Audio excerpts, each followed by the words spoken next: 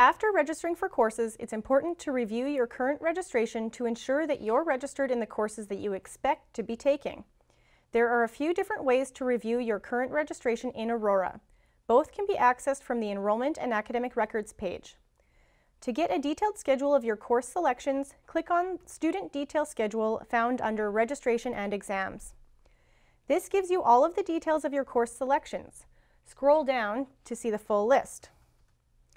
You can also take a look at your daily class schedule by selecting Week at a Glance. Click on Next Week to look through your weekly schedule or search for a specific date. Any classes that don't have a scheduled meeting time, such as distance and online education courses, will be listed at the bottom of the page. You can click on the course to get more details. Some students may require formal proof of registration, most often when applying for a bank loan or withdrawing money from RESPs. The Registrar's Office provides a variety of documents for this purpose. For more information, visit the Registrar's Office website.